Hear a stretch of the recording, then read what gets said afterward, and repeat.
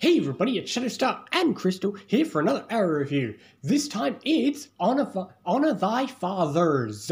Not to be confused with the season 1 episode, but we get some interesting information that was foreshadowed way back in the third last episode of season 1.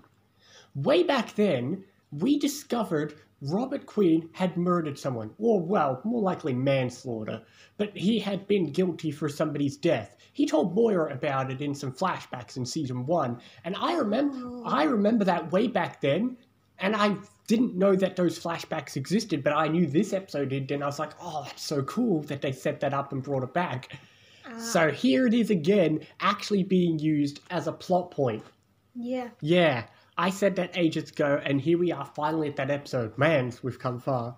But yes, we get to hear about the case of what happened with Robert Queen and when a guy died, and then Adrian Chase tries to play some game with Oliver once again. Yeah, but it was weird and surprising that he just gave up so easily, just being told that his father was gonna disown him. Although from the shot at the end, I'm not sure if he's really given up or I don't know. Well, we have two episodes left, and he's locked up at Argus. Yeah. So, yeah. Is Wha- Argus really the right place to hold him in custody? probably they probably don't want to risk him get out out of a conventional prison. Hmm.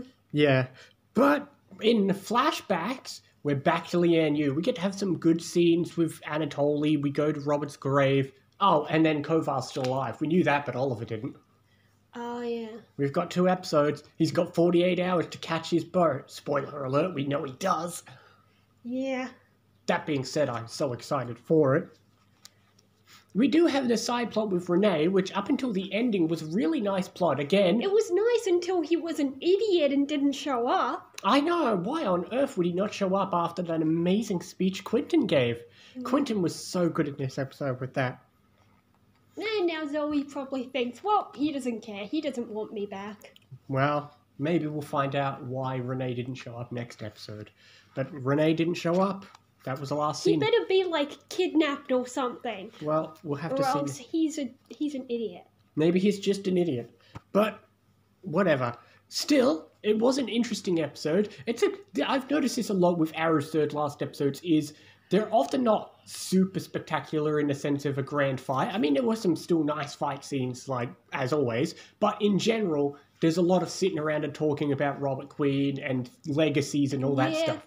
Not that that's a bad And thing. with the stuff that actually happened, it's one of those moments where if you change things slightly, it could be an ending.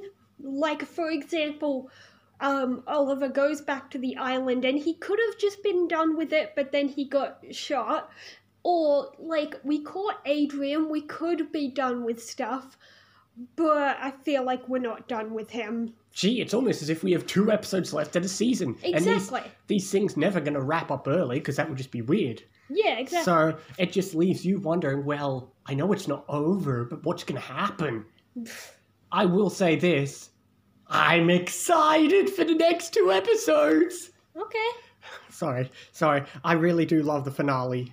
Anyway, but still, I enjoyed this episode. It's different, obviously, because we're mostly talking about legacies, but I like when things connect back, you know? I enjoyed the flashbacks with all the Anatoly stuff, and I love seeing it all connect back and making it feel like we're really tying it back into season one. And it's a bit, I don't know, it's a bit interesting the fact of, like, not only are we going back to Lian Yu, but then the fact of the main story in the present kind of also ties into his season one and early seasons with Robert and all that stuff. That being said, it didn't excite me that much, so no, I agree. I agree. I'm just gonna go seven point five. I agree. Most of my excitement is more because we say this every time there's a third last episode.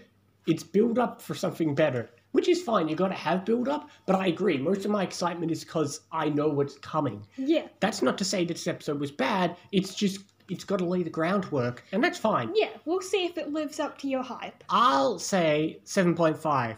Yeah. What is the next episode called? Missing, which I hope Renee is, otherwise he's an idiot and I hate him for not showing up. Well, also William at the end of the previous episode. Anyway, we forgot about him for an episode. no, I mean, okay, he Oliver did say where's William, and they couldn't find him.